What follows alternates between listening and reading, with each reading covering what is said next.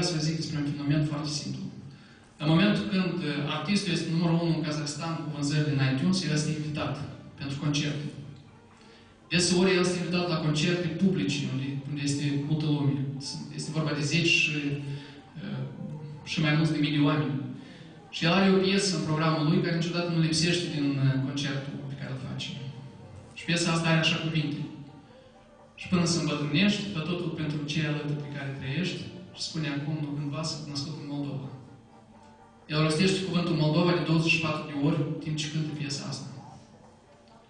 Și din efectul pe care l-am văzut eu în București, de exemplu, la concertul lui de lansare, eu pot să vă zic că un instrument mai puternic de branding pentru țară și de a ridica relevanța cuvântului Moldova uh, e greu de imaginat. Respectiv, noi nu trebuie să subestimăm efectul pe care îl au acești artiști în promovarea țării în exterior.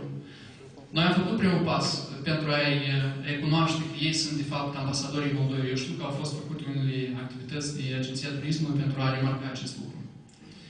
Pe lângă Carlos, mai există artiști. Este Andrei Rață, cunoscut sub numele Andrei, care intră în top 100 cei mai buni DJ din lume, este Valentina Naforniță, este Artur Ioniță.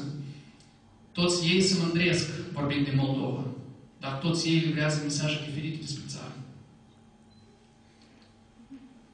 Sugestia pe care o avem noi, care am putea să o implementăm în anii ce urmează, e de a face un program de identificare permanentă a celor persoane care creează imaginea Moldovei pe exterior și de a ezistra cu instrumentele necesare pentru a promova acel singur mesaj la care am ajuns un pic mai devreme.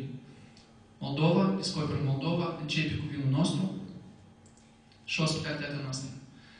Cel mai simplu mod ar fi de a lucra cu același Carlos Dreams, pentru dânsul nu va fi un extra efort de a-și fixa concertul în Rusia undeva și de a spune că приезжайте к нам, у нас самое вкусное вино, и мы самая гостеприимная страна, самый гостеприимный народ в мире.